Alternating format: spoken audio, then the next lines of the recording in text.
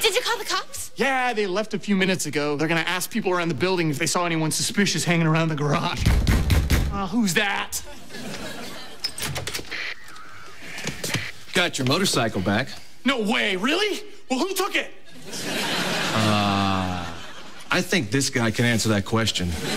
You know who took it? He took it.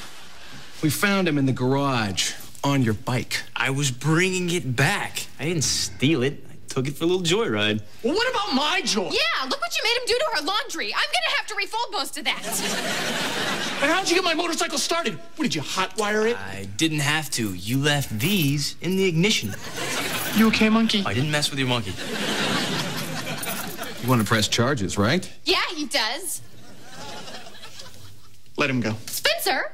It's your lucky day. Stay out of trouble.